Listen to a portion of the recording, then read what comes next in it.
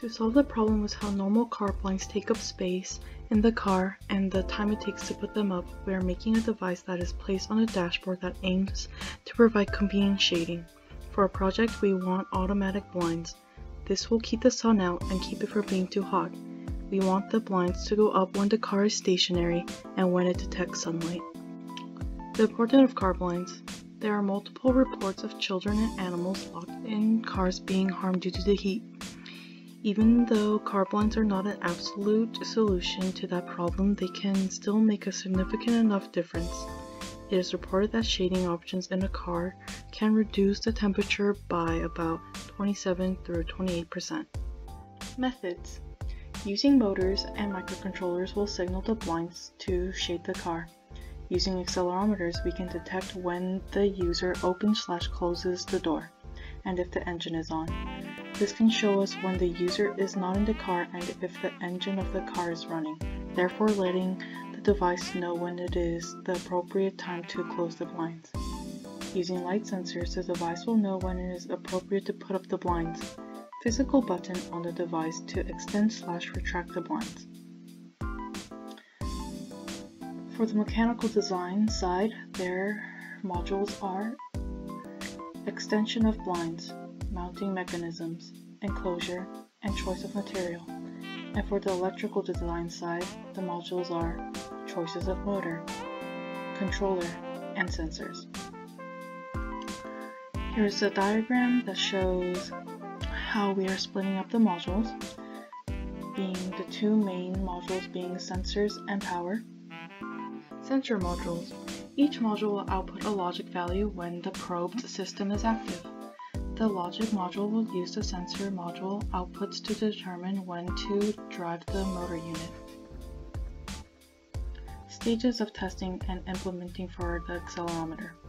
First, we will test the accelerometer by using the Arduino. After testing the Arduino, we will transfer over to the Atmega 328PB. With all the testing stages completed, we will transfer over to the PCB. Accelerometer hardware. We are using the ADXL337. XYZ out are all analog signals. To correctly filter the correct frequency that is desired, we will be using capacitors. To get 100 Hz, we will need to connect XYZ out with 0.05 microfarad capacitors. We need to process the data to detect vibration within the chip's output. Auxiliary power detection. The auxiliary power outlet is an indicator of when the vehicle has been turned on. This module will be in parallel to the power modules. The simplest method to output a logic high of 5 volts is to use a voltage regulator alongside the 12 volt output of the aux power. Sunlight detection. This sensor seems to output an analog signal based on the optical intensity.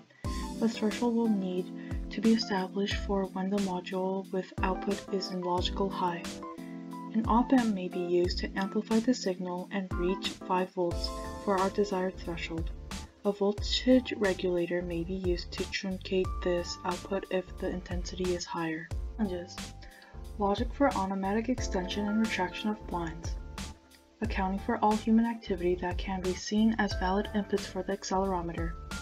Concave nature of the windshield must not encroach on driver's sight, keeping the blinds up, and powering.